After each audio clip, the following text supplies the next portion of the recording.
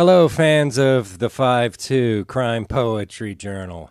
Uh, this is Michael A. Arnzen, and uh, the poem I'm about to read to you is a strange little number that purports to be the answer to a word problem in a math quiz. It's called Define Pi, and I wrote it for Pi Day, March 14th.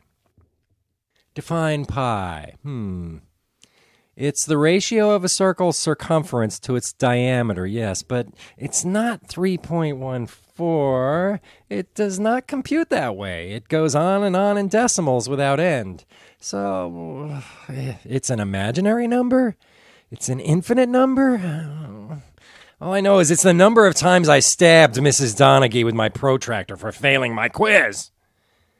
Wait, it's an imaginary number. It's an infinite number.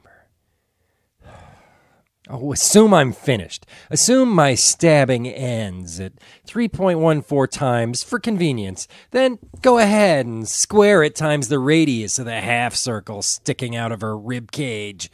Um, you can measure the degree line in blood when she's not breathing. it's an imaginary number.